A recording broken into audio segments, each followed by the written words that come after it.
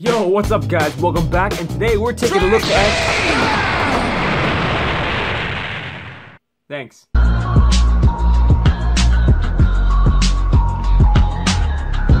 Alright, so as I was saying, we're taking a small break from the 2.0 discussions and looking at Tien Shinhan today. Ah, Tien. Tien Shinhan. The one and only true visionary Cyclops-like martial arts master. In this video, we're to be taking a look at him, Spidey style. Let's get into it. Alright, so Tien. I know a lot of people have been waiting for this guy to drop, and to be honest, now that him and Yamcha actually have, it feels kind of surreal. I mean, it's nice because now we're getting a little bit of a break from the Saiyan characters. Don't get me wrong, as much as I love them, we needed a little bit of a change, I'm just saying. And characters like Tien and Yamcha just take us back to simpler times.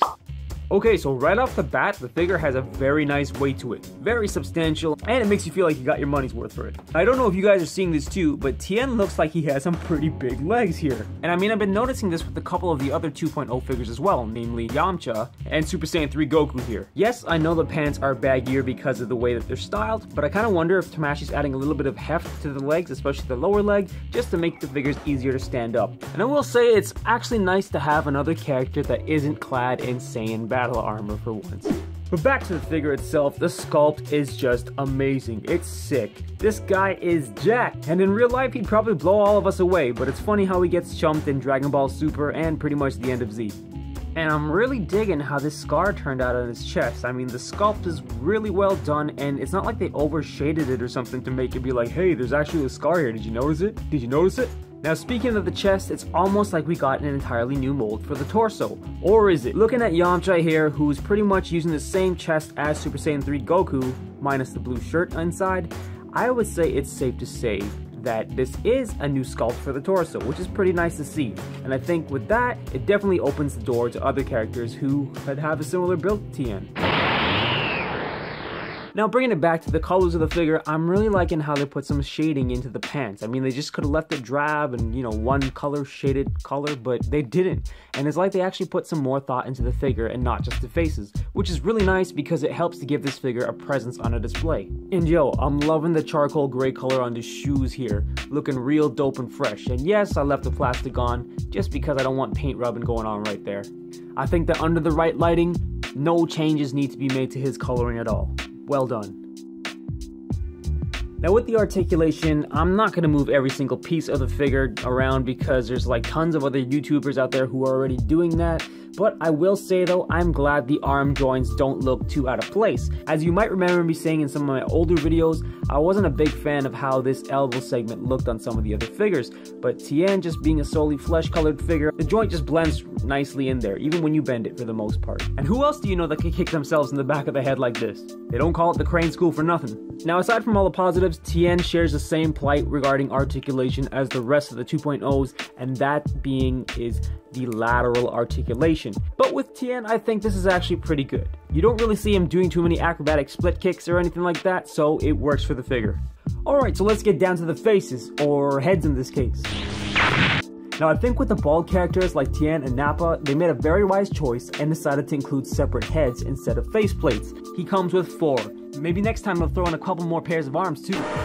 Now the first one is your standard stern looking serious face that of course is a must for every Figuarts. Not much to say about this one here other than good job on the detail Tamashii. Now the second head is the angry or screaming or tri-beam face and I quite like this one. Not only is the detail immaculate on it, but as weird as it sounds, look at the way they did that vein there.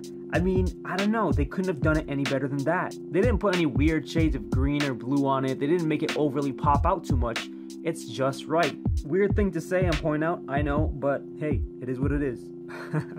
oh, the third and fourth faces. Now don't get me wrong, I am very happy that they included these. Finally, we can have someone else doing something other than looking serious or yelling in our displays. Now having said that, these faces are, to put it lightly, very expressive and interesting indeed. The first of these faces is what I like to refer to as the, oh man, I really gotta go take a dump face, or I forgot to turn off the stove at home and someone's gonna kill me face. Very expressive like I said, and it's definitely different. Now the same goes for this face here. Except this face reminds me a lot of this. A little bit weird, but different nonetheless, and an accepted change. If someone could let me know down below where exactly in the anime these two faces came from, that'd be great, because I'm sure there's a meme somewhere out there for them. Alright, so now let's talk about the hand. Yes, he comes with a pair of fists. Yes, he comes with some Energy Blast open hands. Yes, he comes with the grabby martial arts sparring hands. But let's talk about the hands everybody really wants to get down to. Yo, straight up, these are some of the best hands in the Figuarts game to date. Look at these things, man. I mean, like, they actually have pegs and peg holes. Can you see that there? Now, while they aren't the easiest things to catch on to each other, they totally make a difference. If you watch my Super Vegeta review, you know how much it irked me that it was so tough to get Vegeta in a proper Final Flash pose because his hands and arms wouldn't just move so close together, so it was always a guessing game. But they just made it that much easier for you to make an actual tri-beam pose, which is awesome. And for those of you who didn't really know about this yet, they are working on 3.0 articulation, and that will actually feature some of the hands actually having movable segments.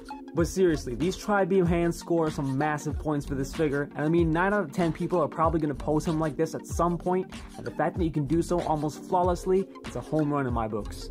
Now lastly we have the gun hand, or what I'm going to refer to as the Dodon Ray hand. So this one's not nearly as crazy as the last pair of hands, but definitely a welcome addition nonetheless, as it gives us yet another posing option, and really that's what this line of figures is all about, am I right? Oh man, I can't wait to play with my new toys! Uh, now lastly, if you're wondering if I would talk about it, yes, he does come with Chaozu, or Chaos as he's apparently known. Now while Chaozu is definitely doomed and locked into this one pose forever, I think we gotta give him points for including him still. Sure, he doesn't have as much finesse in his paint job as Tien does, but hey, cut the man some slack, he's an accessory. Now if you didn't already know, he's posed like this because he's supposed to give Nappa a big hug, or at least give the option to recreate the scene in which he blew himself up with. So what do you guys think of Tien? Did you pick him up? Will you pick him up? My recommendation is you should. I mean, come on, you gotta complete the Tournament of Power lineup, and you definitely can't do that without Tien. Just a great figure overall, and I don't have much, if any, complaints with him at all in regard to comparisons to the rest of the 2.0 line. And just before I forget, it's pretty crazy how they continued the scar all the way onto the top of his shoulder here. That's some accuracy.